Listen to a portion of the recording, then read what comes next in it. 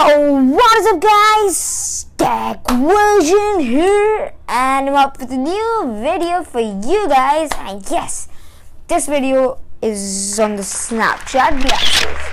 As you can see, I have not picked up one of those Snapchat glasses right here. Oh, this is I'm just kidding. So, yep, these aren't the Snapchat glasses, but yes, I know a lot about them. As you know, I'm the tech geeky guys. Yes, I'm gonna be telling you all about the Snapchat glasses in this video and one more Snapchat release. So let's move on. As you guys know, they aren't just any glasses, any random glasses. They are the Snapchat glasses. So what about the branding? What about the Snapchat glasses? What's so funky? So it comes in a tennis ball case, which is really small handful kind of thing, yellowish tennis box. So when you open it, it's very um, normal. You get a um, leather kind of um, sunglass case into it. Yeah, you get a case, yellow case. Okay.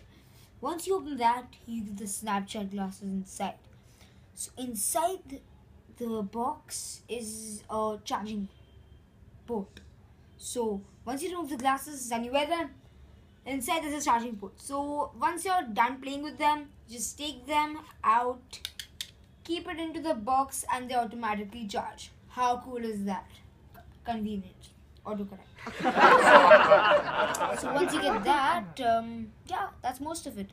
Then they have a button right here, top of the Snapchat glasses. just tap out here and it takes a video.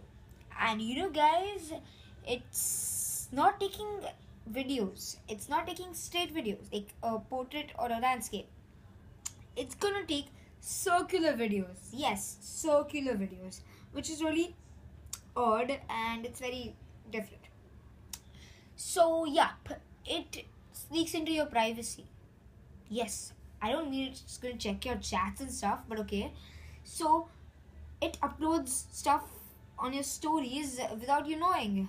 Like you just take a video for example by mistake, it's gonna upload that. Damn! Like without even knowing, and your data also get gonna get wasted. I mean the mobile data. Yep. So that's kind of a bad thing in it. And yeah, you rarely get them. It's a very limited product. So you only get them on snap sites and uh, vending machines. Yeah vending machines are a term used by snapchat. So so once you get uh, the pop-up only then you can buy it. So it's very limited. That's why i don't have those. $130 so is it worth it? I guess not. It's better you can actually record something from your phone that'll be much better but they're just cool to have and it's a very limited product so yeah very exclusive guys if you can grab on one of those, it's very good. So pairing it can be really easy. I mean pairing the glasses, not with someone. Pairing can be really easy because you just have to go to settings, you go to snap spectacles, and then you just have to stare like you're stalking your phone once it's in the snap spectacles pairing mode. Stare at the phone like that. Ah, and be like spectacles found. You're. It's that simple. So it's not that complicated but it's not that great. Like it just records videos and takes snaps by a button out here. And there are gonna be lights flashing all over so you look like some fancy cool dude. Yeah.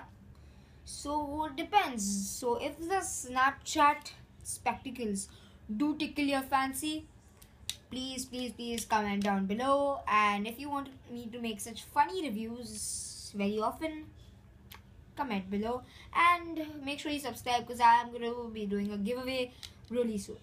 So stay tuned guys. That's all for today. Peace out.